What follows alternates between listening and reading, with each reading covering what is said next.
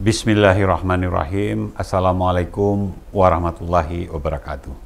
Saya Nova Irian Syah, Gubernur Aceh atas nama pemerintah dan rakyat Aceh mengucapkan selamat atas pelaksanaan seleksi tilawatil Quran nasional ke-26 di Sofifi, Provinsi Maluku Utara.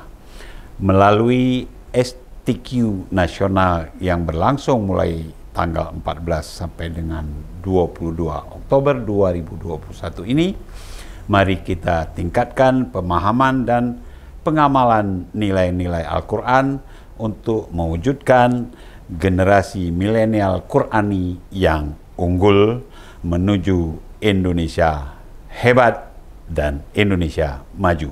Terima kasih. Wassalamualaikum warahmatullahi wabarakatuh.